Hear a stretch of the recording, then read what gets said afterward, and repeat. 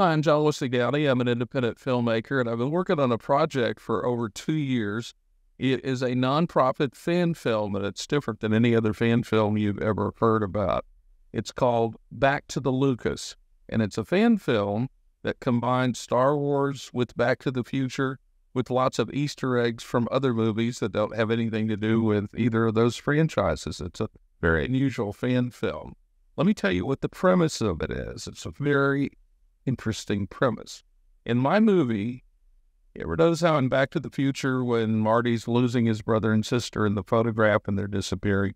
Well, at the beginning of my project, everything having anything to do with Star Wars is disappearing into thin air and nobody can figure out what's happening. It turns out it's a glitch in the timeline, and that 52 years ago, George Lucas gave up on filmmaking in this timeline. It turns out that after his first movie was released, THX 1138, which was a complete failure, he was so wounded and angry that he retreated and went to work in his dad's furniture store and never made another movie. Hence, Star Wars disappearing and vanishing completely in our time. So, the goal of my story is that somebody has to time travel back to the early 70s, locate Lucas, and explain his destiny to him, and has to even explain Star Wars to him because this is before he ever thought of it. So we have some interesting problems with this story. First of all, how do you get back to 1971? Once you get there, how do you find George Lucas? And once you find George Lucas, how do you convince him to reverse his decision to give up on art and creativity and filmmaking and instead give it another try so that the world can have Star Wars. It's a really fun, interesting project. We've been working on it now for two years, and we have most of it filmed. And uh, we've got a very enthusiastic crew and cast.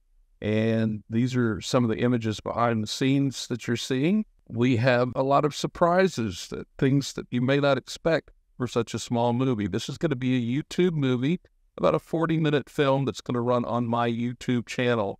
We're hoping to have it finished in February or March. Now, one of the interesting things about this is I can't take anything back to show to George Lucas, the 26 year old George Lucas, because everything is disappearing of Star Wars. So it's not like I can take a lightsaber back to him or one of the novels or even a copy of one of the films.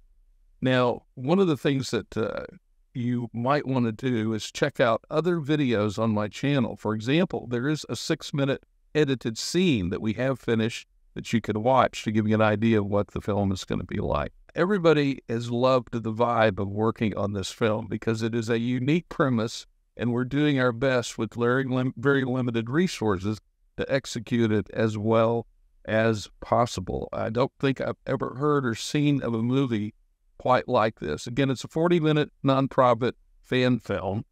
And if you want to learn more about it, there's three or four videos on my channel uh, that you can check out to learn not only how you can find out more information about it, but also how you can contribute because uh, we've kind of reached the limit of our resources. But we have gotten most of it done. We just need some help getting to the finish line. There's a GoFundMe account, there's a Kickstarter account, and there's also some other methods of payment that you can use if you want to help us out. I'm not asking for any large donations or con- contributions, uh, just some small ones to get us to the finish line. Back to the Lucas is a labor of love.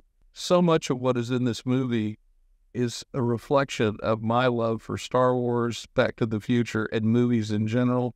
And everybody working on it has kind of felt the same way. I hope you enjoyed getting a look at these behind the scene pictures of us doing our work and having a blast working on this little independent movie.